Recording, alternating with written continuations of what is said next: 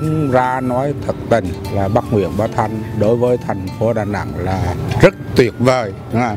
Vậy là, là đến cả tuyệt vời nữa. Chúc bác Thanh ờ, mong cho giống mạnh khỏe. Trông cho bác um, mạnh um, sớm bình phục để về với Đà Nẵng. Nhưng mà đừng cho bác đi môi trần. Để ở tại Đà Nẵng thì cho uh, thêm uh, uh, đẹp thêm một uh, tí nữa. Ờ, chú chúc cho bác Thanh có nghĩa là mạnh khỏe để cho dân Đà Nẵng họ nhờ. Thế đâu? những người của ta của đức với với bác Nguyễn Bảo Thanh là chắc chắn sẽ gặp nhiều điều may mắn. Tôi thấy ông Nguyễn Bá Thanh là người sống rất trung thực.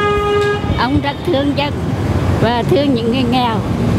Thì ờ, tôi nghe tin ông đau tôi là rất là cảm động tôi xúc động. Ông ờ, biết bao nhiêu là là chuyện lên truyền hình là ông nói chân thật lắm. Ông rất thương dân thương thương mẹ lắm. Mà đó nhưng nghe tin ông đau là tôi rất buồn.